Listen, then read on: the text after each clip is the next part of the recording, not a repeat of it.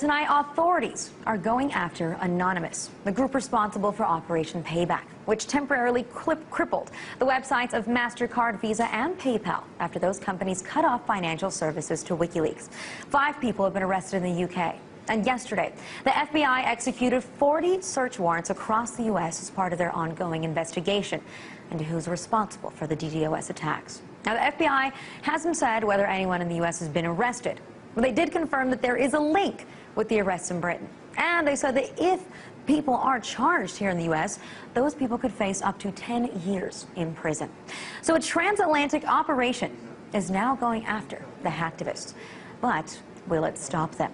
Joining me to discuss it is a source within Anonymous. Uh, thank you for joining us tonight. Now, first, I just want to ask, uh, on behalf of Anonymous, are you guys mm -hmm. surprised that the authorities are going after you here?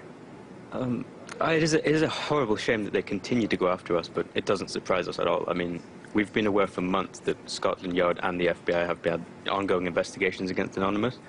Um, it's kind of, I think it's the kind of their quest to bring down the whole of Anonymous, and they're never going to succeed. They kind of think that all of our base are belong to them, and they're very wrong. Why do you call this a shame? Do you consider that what you've done is a criminal activity, uh, or, or, is this a peaceful form of protest? I've seen some of your statements claiming that. Oh, um, it's a shame that they continue to try. They're never going to stop the whole of Anonymous. Um, DDoSing is not malicious. It's, it could be considered a cyber sit-in, you know, an online protest. Um, it's not harmful. It's much like, well, it's much, think of it much like blocking an entrance to a building like a, a bank or a shop. We're not breaking windows of buildings. We're not destroying parts of websites. We're simply denying access to it. That's, that's the point. Distributed denial of service attacks. It's just a protest, but online. Now, it seems like there's an international effort going on between the UK and the US. And I know that you guys wrote out a uh, statement for the British government. Do you have anything to say for the US government now that you know that they're working together on this one? Um, at the moment, I can't speak for the whole of Anonymous, but we do not have a current US government press release. It might change, so um, we just say keep your eyes peeled on the internet.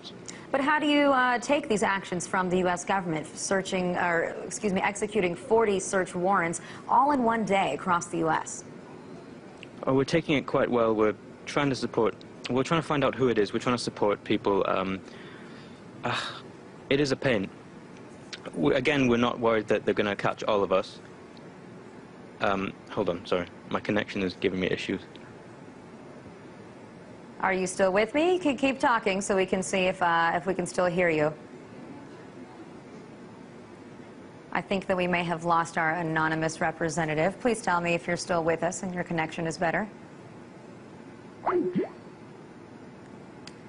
I think that we uh, that we may have lost him there. I think we're trying to redial, but uh, 40 search warrants, like I said, were served yesterday by the FBI across the U.S., and they said that they haven't yet arrested anybody, but these people could face up to 10 years in jail. Now, if you remember, we've spoken to officials from Anonymous, or representatives, excuse me, a number of times on this show, especially after the first time that they decided to go after the websites of MasterCard and Visa in response to WikiLeaks. And Anonymous also has come out recently in support of what's going on in Egypt. They say they even wrote a letter saying that this is a warning to the Egyptian government. They are not about censorship. As you know, the Egyptian government, as we spoke tonight, uh, shut down the internet. They also shut down all cell phone communications and I think that we have our anonymous official uh, representative back now. Uh, since I was yeah. speaking about it, I was just mentioning that Anonymous released a statement in which you also were supporting what's going on in Egypt right now. Is that correct? Yes, we are. We're supporting the, firstly, sorry for my connection there. Yes, we're supporting the protesters in Egypt.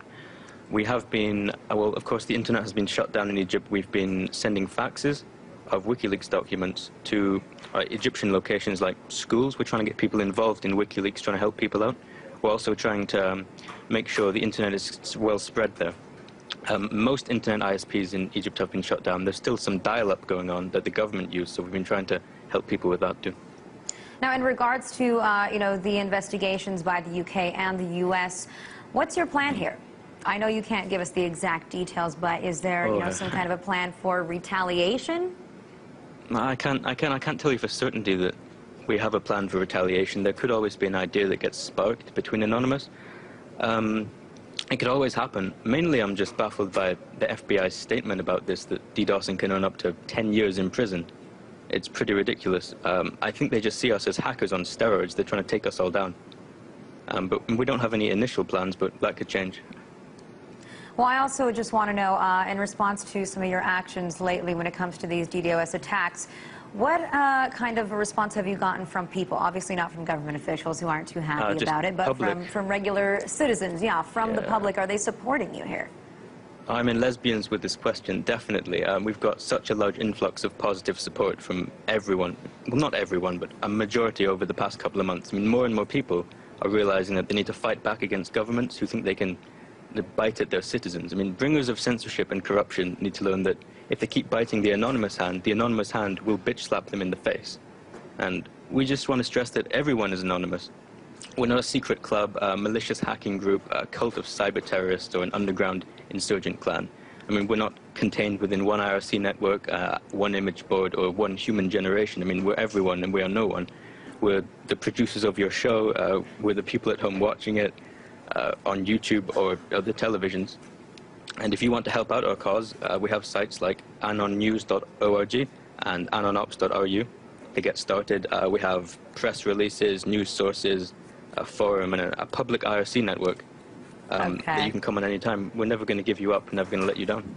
Um, I think that some of our producers here on the Alyona Show might counter that statement, but thank you very much for joining us.